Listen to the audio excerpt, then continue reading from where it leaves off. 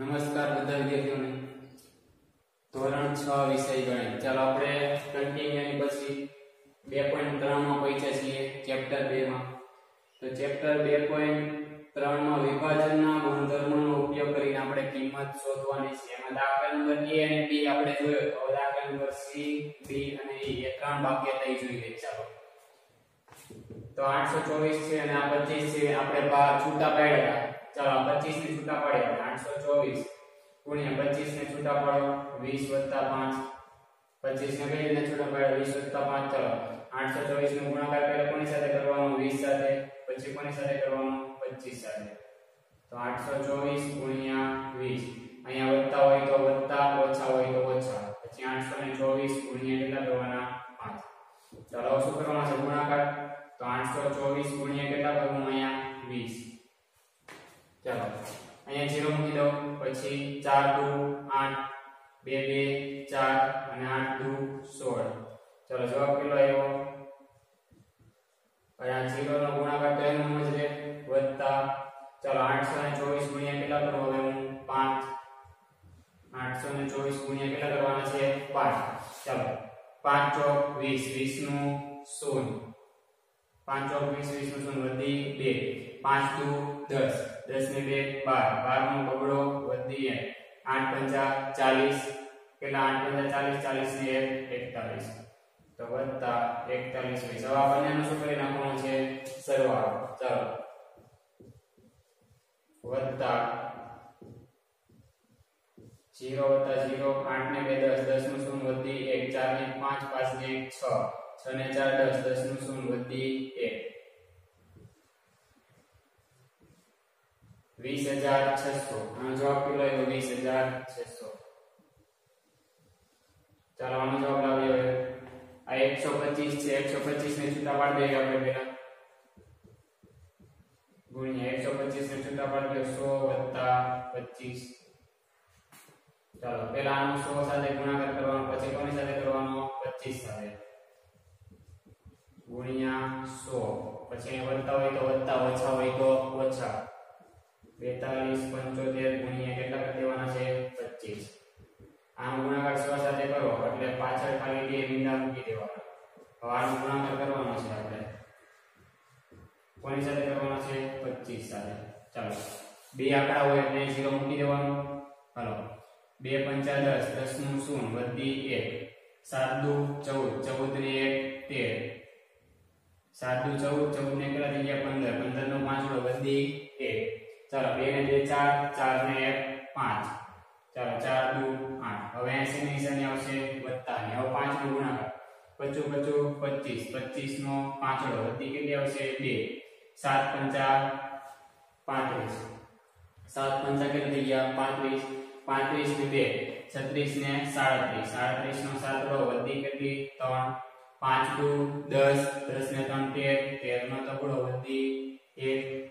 પાંચ ચોક વીસ વીસ ને એક કેટલા થઈ ગયા એકવીસ હવે શું કરી નાખવાનું છે સરવાળો અહીંયા પાંચ અહીંયા સાત પાંચ ને ત્રણ કેટલા થઈ ગયા આઠ પાંચ ને કેટલા થઈ ગયા છ આઠ ને બે કેટલા થઈ ગયા દસ આ બંનેનો સરવાળો છે એ કેમાં કરવાનો છે હોમવર્કમાં આ બંનેનો સરવાળો તમારે હોમવર્કમાં લાવવાનો છે જવાબ એટલે ભૂલતા નહીં ડાયરેક્ટ અહીંયા સુધી એચ ડબલ્યુ તમારે નોટમાં એચ ડબલ્યુ નથી લખવાનું. એચ ડબલ્યુ એટલે શું થાય? હોમવર્ક. હોમવર્ક એટલે ઘરે સરવાળો કરવાનો છે. ચાલો, પાછળ આપણે ભણીએ પાંચસો ચાર ગુણ્યા પચીસનું અને 25 કેવી રીતના હતા? પણ અહીંયા આપણે 500 ને છૂટા પાડી દેવી તો પણ ચાલે. 500 ને છૂટા પાડી દો તો પણ ચાલે. અહીંયા 25 504 છે કેવી રીતના લખાય? 500 4 લખાય 504 ને કઈ રીતના લખાય? 500 4 લખાય આ પછી આ 25 ને એમનું રાખો. ચાલો પચીસનું ગુણાકાર કોને હારે કરવાનો? 500 હારે પછી કોને હારે કરવાનો? ચાર હારે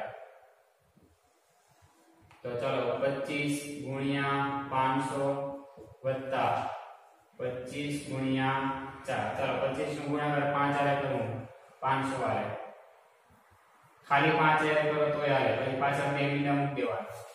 ખાલી પાંચ હજાર કરી દેવાનું પાંચ પાછળ કેટલા મીંડા મૂકી દેવાના? બે મીંડા ચાલો, પચું પચું, પચીસ પચીસ નો વડે વધી કેટલી એવી બે, પાંચ, દુ, દસ. દસ ને બે, બાર. કેટલા આવ્યા? એકસો ને પચીસ અને આ બે ઝીરો હતા. અહીંયા મૂકી દો વત્તા. પચીસ એકા પચીસ પચીસ દુ પચાસ. પચીસ ત્રણ પંચોતેર, પચીસ ચાર સો.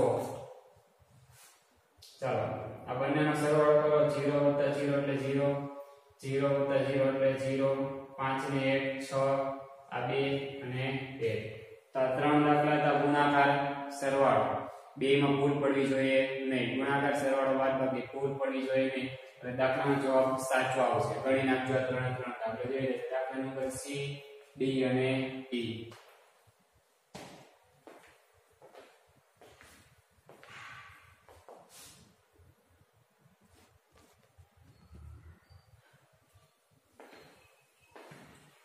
ચાલો, એ તો આગળનો દાખલો કર્યો આપણો છેલ્લો દાખલો, તો એની પછી છે પ્રવૃત્તિ છે, બરાબર? તો પ્રવૃત્તિ ઘરે જાતે કરવાની છે, એમાં કંઈક રમત જેવું છે, તો ચોપડીમાં જોતું જવાનું અને કઈ રીતના આંકડાઓ છે, એ રીતના છે, દાખલા છે નહીં. અહીંયા આપણું ચેપ્ટર હતું ચેપ્ટર નંબર બે પૂર્ણ સંખ્યાઓ. ચેપ્ટર નંબર બે પૂર્ણ સંખ્યાઓ એ પૂરું થઈ ગયું. આજે છેલ્લો દાખલો આગળ ગણાયો, એ આપણો છેલ્લો દાખલો હતો. તો અહીંયા ચેપ્ટર નંબર 2 પૂર્ણ સંખ્યાઓ પૂરું છે. આપણે એની પછીનું ચેપ્ટર ચાલુ કરવાનું છે. ચેપ્ટર નંબર ત્રણ. તો એ છેલ્લું જે છે એ પ્રવૃત્તિ છે. પ્રવૃત્તિ જાતે કરવાની છે અને જોતું જવાનું આંકડા કઈ રીતના, એક પછી એક લાઈનમાં આવતા જશે આંકડા. હલકું વિચારીને રમત જેવું છે પ્રવૃત્તિ. એ પ્રવૃત્તિ જાતે કરવાની છે ઘરે. તો હવે નેક્સ્ટ ચેપ્ટર ચેપ્ટર નંબર ત્રણ ચાલુ કરશું.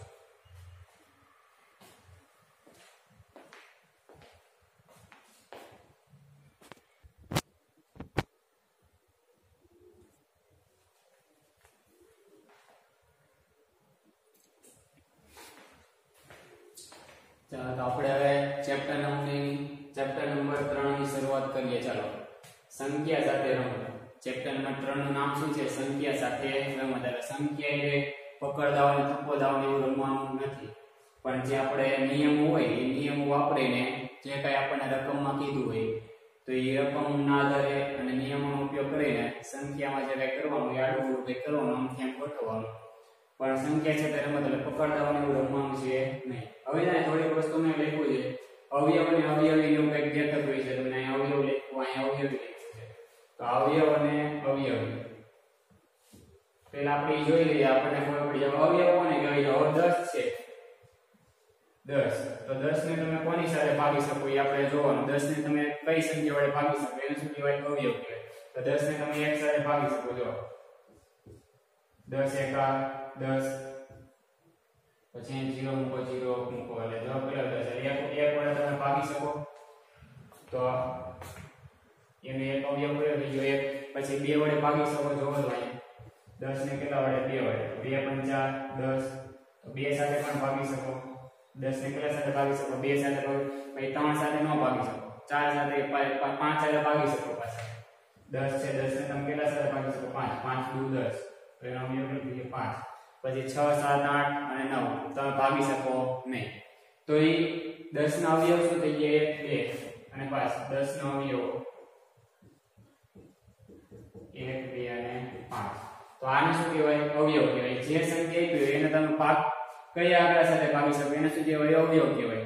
બરાબર? બાર આપ્યું હોય તો બાર ને તમે શેની વડે ભાગી શકો? એક સાથે તો બધા સાથે ભગાય. એટલે એક તો બધામાં આવશે તે. પછી બારને બે સાથે ભાગી શકાય, છ સાથે ભાગી શકાય, ત્રણ સાથે ભાગી શકાય.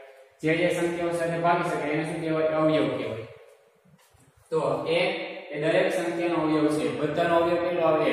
આ ખાલી જગ્યામાં પૂછાય એવો સવાલ છે કે કઈ, કયો અવયવ એ દરેક સંખ્યાનો અવયવ છે? તો કે ભાઈ એક એ દરેક સંખ્યાનો અવયવ છે. આ યાદ રાખજો. મોસ્ટ ટાઈમ ખાલી જગ્યા વિકલ્પ બધામાં આવશે. એક એ દરેક સંખ્યાનો અવયવ છે. કેમ કે x છે એ બધા સાથે ભાગી શકે. તમે એકને ગમે એની ભાગી શકો. દરેક સંખ્યા પોતે પોતાનો અવયવ છે. દરેક સંખ્યા પોતે જ પોતાનો અવયવ છે. 10 ના અવયવ પૂછે 1 2 5 અને કોણ આવશે બીજું 10 પોતે જ પોતાનો અવયવ છે એટલે 10 ને તમે 10 સાથે ભાગી શકો. 10 ને તમે 10 સાથે ભાગી શકો. 10 એકા 10 ગમે સંખ્યા હોય એને એની સંખ્યા વડે ભાગી શકો. 25 છે તો 25 ને તમે 25 સાથે ભાગી શકો 25 એકા 25 તો આમાં શું કીધું? દરેક સંખ્યા પોતે પોતાનો અવયવ છે. તો એક એ બધામાં આવે અને છેલ્લો કયો આપણે? પોતે જ આવશે. જે રકમ હોય એ જ પોતે આવે. ખાલી વચ્ચે તમારે ગોતવાના. વચ્ચેના આપણે તમારે ગોતવાનું. પહેલો આંકડો કયો? લખી નાખવાનો એક. છેલ્લો આંકડો કયો? લખી નાખવાનો. એ સંખ્યા પોતે. વચ્ચેના છે. કઈ સંખ્યા વડે તમે ભાગી શકો? એ ભાગાકારના દાખલા કરીને આપણે ચેક કરી લેવાનું. હવે જો દરેક સંખ્યા પોતે પોતાનો અવયવી છે. અવયવી હવે શું આવ્યું અવયવી અહીંયા શું હતું? અવયવ. અહીંયા શું આવ્યું? અવયવી. અવયવી એટલે ઘડિયા પ્રમાણે આગળ જવાનું, ઘડિયા પ્રમાણે આગળ જવાનું. એટલે તમે ભાગી શકતા હોય બે ના અવયવ કીધો હોય. બે ના અવયવી. તો જો બે ના અવયવ એટલે બે એકા બે. બે ની ચાલુ કરો બે એકા બે બે બે, ચાર, બે તેરી છ, બે, ચોક, આઠ, બે, પંચા, દસ, બે, છ, બાર, બે, સત્તા, ચૌદ. એવી રીતના આવ્યા જ કરશે બરાબર? એ આ શું થઈ ગયું? બે ના અવયવી.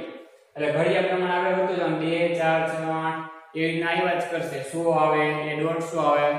એ દોઢસો ને પણ તમે બે સાથે ભાગી શકો. એટલે એવી આંકડા લેવાના કે જેને તમે બે સાથે ભાગી શકો. એટલે ઘણા બધા આંકડા એવા જ કરશે કે જેને તમે બે સાથે ભાગી શકશો. દરેક સંખ્યા એકનો અવયવી છે. દરેક સંખ્યા છે એ એકનો શું કહેવાય? અવયવી કહેવાય. કોઈ પણ સંખ્યાનો નાનામાં નાનો અવયવી સંખ્યા પોતે જ છે. નાનામાં નાનો અવયવી બે નો અવયવી કીધો એટલે ચાલુ કે થાય? બેથી થાય સાત નો અવયવ કીધો હોય? સાત ના તો ચાલુ કેવી થાય? સાત. સાત એકા સાત સાત દુ ચૌદ, સાત તેરી એકવીસ, સાત ચોક અઠ્ઠાવીસ. તો નાના નાનો અવયવ શું આવશે? એ સંખ્યા પોતે. અને પછી અનંત સુધી એમનો માયરો કરશે. તો શું કીધું? કોઈ પણ સંખ્યાનો નાનામાં નાનો અવયવી સંખ્યા પોતે જ કહેવાય. તો પહેલા તો અવયવ અને અવયવી. બે વસ્તુ આપણે જોવાની. હવે એની પછી જે આગળનું હોય એ આપણે જોઈશું.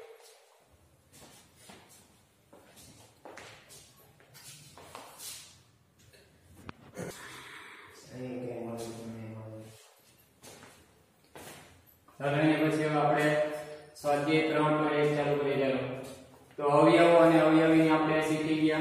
આપણે હવે પ્રશ્ન એકમાં તમને શું કીધું? જો નીચેની સંખ્યાઓના અવયવો. અવયવો ગોતવાના છે, અવયવી નથી ગોતવાના. ભાગાકારના દાખલા તમે જોઈ લીધા બધા. ભાગાકારના દાખલા આવડો એમાં ભૂલ ન પડવી જોઈએ ભાગાકારના દાખલામાં. ચોવીસ, પંદર, એકવીસ એની રકમો લખી છે, એને તમારે શું ગોતવાના છે અવયવો ગોતવાના છે. અવયવ એટલે ચલો, સૌથી નાના નાનો અવયવ કયો આવે? 1 સૌથી નાના નાનો અવયવ કયો? 1 પછી સંખ્યા પોતે. ચાલો, હવે ચોવીસ છે. ચોવીસ ને તમે બે સાથે ભાગી શકો. ચોવીસ ને ભાગાકાર ચોવીસ ને બે સાથે ભાગી શકો. બે એકા બે, ઉપર એવા ચાર. બે બે, ચાર. ચાલો, જવાબ કેટલો આવ્યો? બાર આવ્યો એટલે બે સાથે તમે ભાગી શકો. હા. પછી ત્રણ સાથે ભાગી શકો. ત્રણ સાથે. ચાલો, ચોવીસ. ભાગ્યા ત્રણ. તો ત્રણ આઠ, ચોવીસ. ચાલો, ત્રણ સાથે પણ તમે ભાગી શકો. ચાર સાથે ભાગી શકો. ચાલો, ચાર, છ, ચાર, ચોવીસ. તો ચાર સાથે પણ તમે ભાગી શકો છો. પછી પાંચ સાથે ભાગી શકો. પચું પચું પચીસ નો ભાગી શકો. છ સાથે ભાગી શકો. હા, જો અહીંયા છ સાથે ભાગી શકો. છ, ચાર ચોવીસ એટલે છ જવાબ આવ્યો. તો છ સાથે પણ તમે ભાગી શકો. સાત સાથે ભાગી શકો નહીં, આઠ સાથે ભાગી શકો, હા. આજે જવાબ આવ્યો, એને પણ લઈ લેવાના, આવો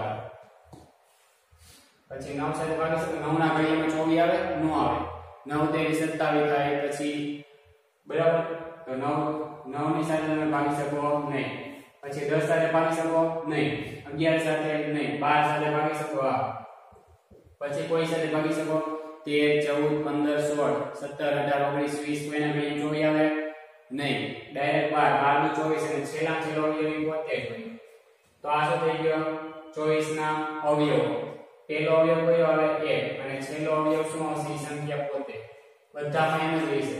પહેલો અવયવ એક અને છેલ્લો અવયવ સંખ્યા પોતે. બાકીના વચ્ચેના આંકડા તમારે લખી નાખવાના. જે સંખ્યા છે તમે ભાગી શકો એ સંખ્યા. ચાલો હવે 15 ને તો 15 માં પહેલો અવયવ તો કયો લખી નાખવાનો? એક. પછી 15 ને તમે બે સાથે ભાગી શકો, ન ભાગી શકો. ત્રણ સાથે ભાગી શકો 3 પંચા 15 તો આ બે અવયવ થઈ ગયા ત્રણ અને પાંચ પછી છ સાથે ભાગી શકો નહીં. છ દુ બાર થાય. પણ 15 આપણે લાવવાના સાત દુ ચૌદ નો ભાગી શકો, આઠ દુ સોળ તો વધી ગયા. તો 1 3 5 હવે કાઈ નો છેલ્લો કયો લખી નાખવાનો? એ સંખ્યા પોતે છેલ્લો નાના નાનો અવયવ અને મોટા મોટો એ સંખ્યા પોતે ચાલો 21 માં પેલો અવયવ બે સાથે ભાગી શકો નહીં. ત્રણ સાથે સાત તેરી 21 21 છે ત્રણ સાથે ત્રણ સત્તા 21 તો અહીંયા ત્રણ અને સાત. પછી એક આંકડા વડે તમે ભાગી શકો નહીં. એટલે છેલ્લો અવયવ શું લખી નાખવાનો? 21 ચાલો 27 માં 27 માં તમે પહેલા તો આવશે એક, પછી ત્રણ સાથે ભાગી શકો. 9 23 27 અહીં 27 લખો. પછી ત્રણ નવા સત્તાવીસ. તો ત્રણ સાથે, પછી નવ સાથે બીજા કોઈ આંકડા સાથે ભાગી શકો નહીં. તો ડાયરેક્ટ શું મૂકી દેવાનું સત્તાવીસ. ચાલો બાર. પેલા કોણ આવશે. પછી બે સાથે ભાગી શકો. આમ બે, છ, બાર. પછી ત્રણ સાથે ત્રણ એકા ત્રણ ત્રણ દુ, છ, ત્રણ તેરી, નવ, ત્રણ ચોક, બાર. ચાલો, ચાર સાથે. ચાર એકા, ચાર ચાર દુ, આઠ, ચાર તેરી, બાર. પાંચ સાથે નહીં. છ એકા, છ છ દુ, બાર. હા. સાત એકા, સાત સાત દુ, ચૌદ. નહીં. આઠ એકા, આઠ આઠ દુ, સોળ. નહીં. તો ડાયરેક્ટ કોણ આવશે? જવાબ બાર. તો આ શું થઈ ગયા એના અવયવો કહેવાય, આ શું કહેવાય એના અવયવો? કે જે સંખ્યા સાથે ભાગી શકો એને તમારો અવયવ કહેવાય. બે જવાબ તો ફિક્સ જ હોય, એક તો એક, અને પછી ડાયરેક્ટ રકમ. બે જવાબ તો તમારે ફિક્સ ખાલી વચ્ચેના જવાબ તમારે લાવવાના છે. આ જે દાખલા છે હોમવર્કમાં એફ જી એચ ટી આ શું છે? હોમવર્કમાં તમારે જાતે ગણવાના છે.